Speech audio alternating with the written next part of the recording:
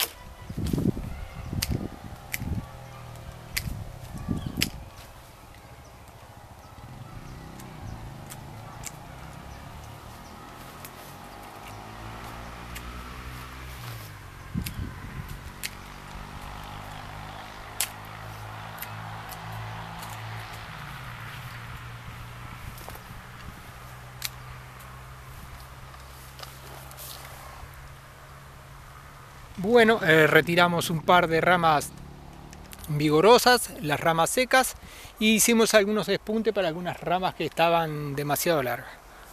Vamos a la otra parte del árbol.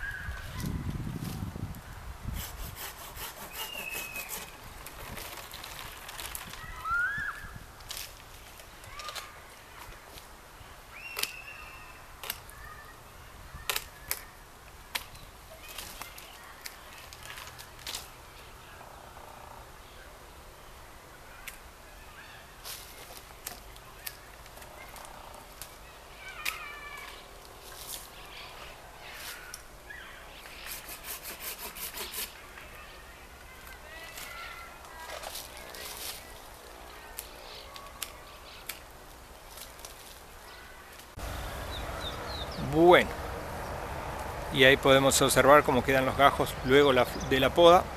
muy importante ver la floración para más o menos tener en cuenta en cuanto uno a veces puede errarle o estar en el camino correcto. Ven cómo son las rindillas, rindillas cortas, son las ideales para la buena floración de los damascos. Acá podemos observar, excelente la floración. Miren cómo viene esto. Y ha bajado enormemente árbol. Lo que ha bajado este árbol es impresionante. Era un árbol altísimo y ahora ya tenemos la fruta a la altura de la mano. Bueno, eso es lo que uno busca cuando hace una poda, mantener la fruta a un alcance correcto. Muy bien, ahora sí, con esto los despido, hasta luego, gracias.